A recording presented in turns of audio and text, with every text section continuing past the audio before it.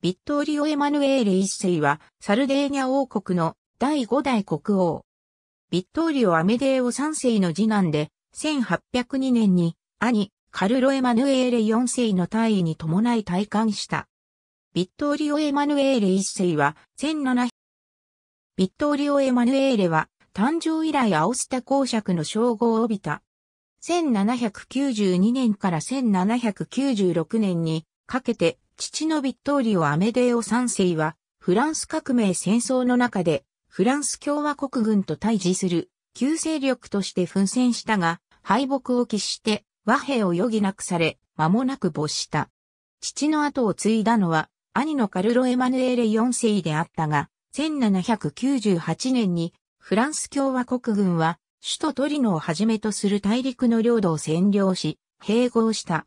カルロ・エマヌエーレ4世とその家族は追放され、フランスの占領を免れたサルデーニャに逃れた。カルロ・エマヌエーレ4世は、サルデーニャ島の統治にはほとんど興味を示さず、クロティルデ王妃と共にナポリやローマで暮らした。1802年、クロティルデ王妃が死去すると、カルロ・エマヌエーレ4世は、弟のアオスタ公、ビットーリオ・エマヌエーレに王位を譲ることとした。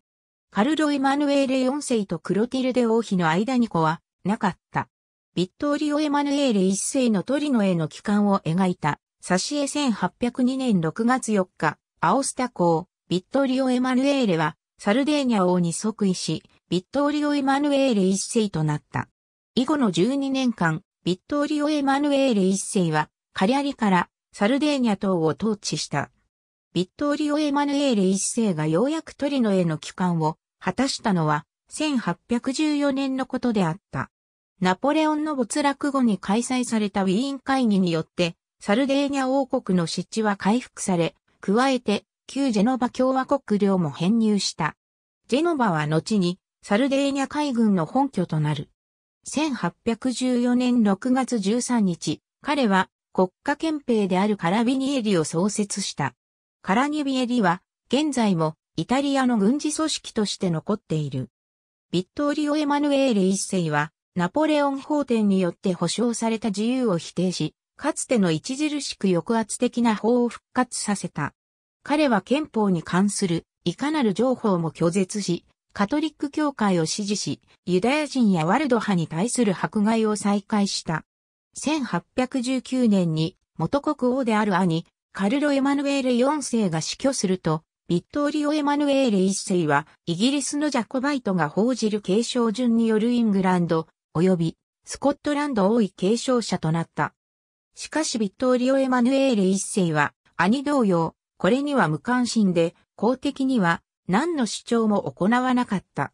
1821年、サルデーニャ王国に立憲革命の波が押し寄せた後、ビットーリオ・エマヌエーレ一世は、弟のカルロ・フェディーチェに上位した。ビットーリオ・エマヌエーレ一世には要請した1、死以外に男子がなく、サリカ法を取るサボイア家の継承法により、カルロ・フェディーチェが推定相続人となっていた。